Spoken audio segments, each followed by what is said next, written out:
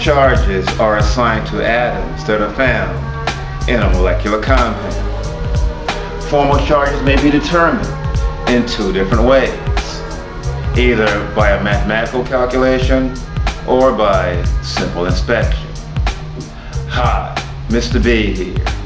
In this video, I will explain the two ways to determine the formal charge of atoms that are found in molecular or covalent compounds.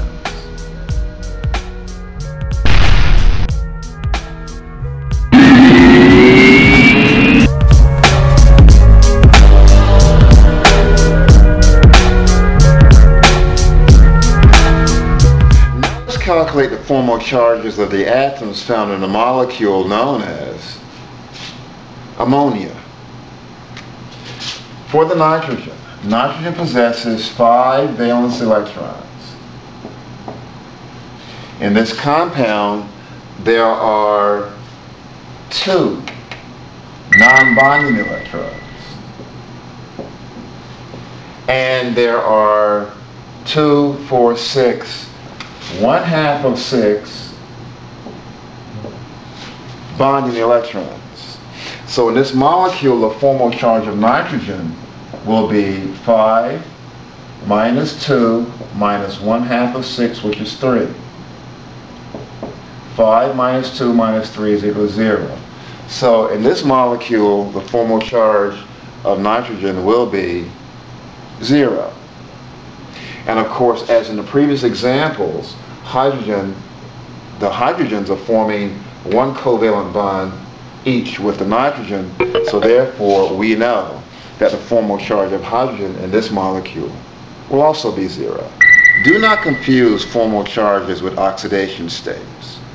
In this molecule, the formal charge of nitrogen was found to be zero, but the oxidation state of nitrogen is a minus three.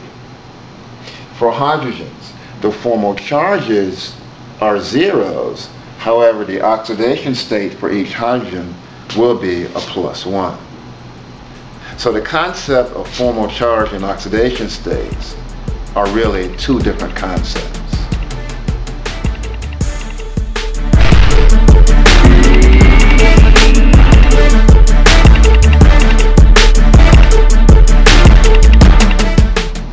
The impact of a formal charge is actually more important when writing Lewis structures of a polyatomic ion. Now let's consider two possibilities for the sulfate polyatomic ion. In the first case, the central atom has a formal charge of 1, 2, 3, 4, where sulfur is found in group 6, so it has 6 valence electrons. Sulfur is showing 4 valence electrons in this structure. So in this particular case, sulfur is showing fewer than the normal amount, so sulfur will have a plus 2 formal charge. Oxygen, 1, 2, 3, 4, 5, 6, 7. So in this case, yet again, the oxygen will show a minus 1 since 7 is one more electron than is seen on the periodic table. So minus 1, minus 1, minus 1. This means that minus 1 plus minus 1 plus minus 1 plus minus 1 plus a positive 2. So this will yield an oxidation state of negative 2. However, the central atom has a plus 2 formal charge. Not a very, very favorable formal charge. Let's consider this one. Where now the central atom is showing 1, 2, 3, 4, 5, 6 electrons involved in bonding, which is good. So the formal charge in this case for sulfur will be 0. Very good uh, condition so far. Let's consider the oxygens. 1, 2, 3, 4, 5, 6, 7. So once again, one of the oxygens is showing a negative one formal charge, as will this one. So, so far we have two negative ones for the oxygens.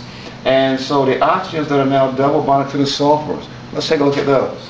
All right, so for each oxygen double bonded to the central atom, one, two, three, four, five, six.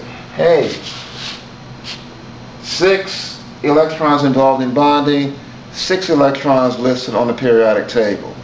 The formal charge of each oxygen in this case is a zero.